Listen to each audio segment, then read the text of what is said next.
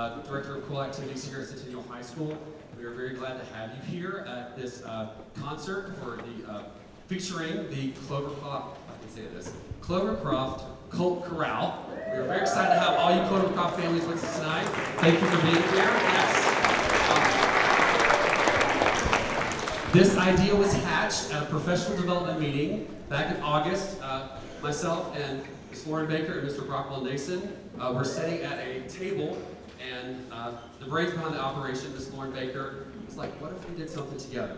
And that's how this came to be. Um, this night is really special for all of us. If you don't know, Centennial uh, High School has a very fractured feeder system. Um, a school, say Brentwood High School, Brentwood Middle School are on the same campus. Those kids just walk over from the middle school to the high school and it's a done deal. Uh, Centennial, we have actually five middle schools that with various children that come. And so it makes it really difficult in terms of recruiting and like building morale and community. And this is just a really wonderful idea to kind of show you all, because we don't really get to interact a lot, the schools are kind of far apart, um, what we do. And um, kind of maybe what your children, if they're in this feeder system, I know some aren't, but if they're in this feeder system, what they might be able to experience with choir. So we really hope you enjoy tonight. We're going to try to keep talking to a minimum and make music the uh, star here. So Centennial, we're going first. Uh, this is our um, Centennial chorus, and we're going to start with a song called Ad Astra, which is Latin for To the Stars, featuring Simon Greenson on